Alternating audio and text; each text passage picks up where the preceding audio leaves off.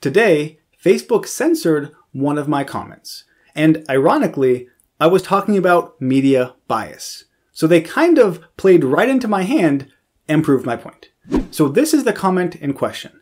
But to truly understand what I was talking about, let's look at the original comment I was responding to. So a friend of mine posted this. And you can read it if you want, but effectively he's just saying that he consistently has to ask Google News to not show him CNN articles because he's intelligent, so he doesn't want to see them. But Google keeps showing him articles from CNN anyway. And he jokingly says that it's kind of sweet of Google watching out for a friend. And to be honest, it kind of seems like he stumbled upon something.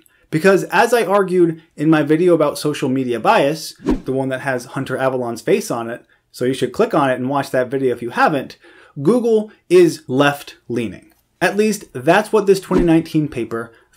They looked at the top news organizations and found that CNN by far dominated impressions. That on Google News, CNN got almost 11% of all news impressions. Followed up by New York Times, Washington Post, Fox News does come up next, but then you have things like USA Today, LA Times, The Guardian, Politico, CBS News, NBC News. Basically, Google is biased to the left. It's not really a surprise. Most of us probably already knew that, and that could be why Google continues to promote CNN, because that's who they want to promote the most, 11% of the time, as a matter of fact. So on Facebook, all I did was point that out.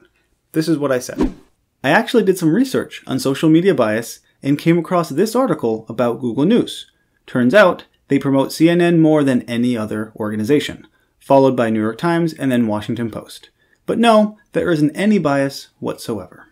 And that last part, I was obviously being sarcastic there. That seems like a pretty harmless comment. At least I thought it was. But Facebook didn't think so.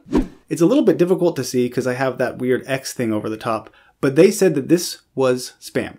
And as a result, no one saw it. They said that spam is something like repeating the same comment, which I didn't do, getting fake likes, follows, shares, or video views, which I didn't do, or coordinating likes and shares to mislead others about the popularity of something, which I also didn't do. The only one misleading the popularity of something is Google, pretending that everyone likes CNN and promoting that over every other news source. So by none of those definitions does my comment fit in spam. It just doesn't make any sense. And to make sure I didn't miss something, I went directly to the Facebook guidelines where they define what spam is and why they try to avoid it. Facebook apparently limits the spread of spam because we do not want to allow content that is designed to deceive or that attempts to mislead users to increase viewership.